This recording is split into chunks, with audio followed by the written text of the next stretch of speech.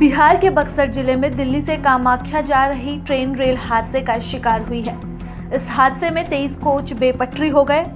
चार लोगों के मौत की पुष्टि रेलवे के द्वारा की गई है। वहीं कई यात्री घायल हैं। घायल यात्रियों का बक्सर के साथ आरा के अस्पतालों में इलाज चल रहा है।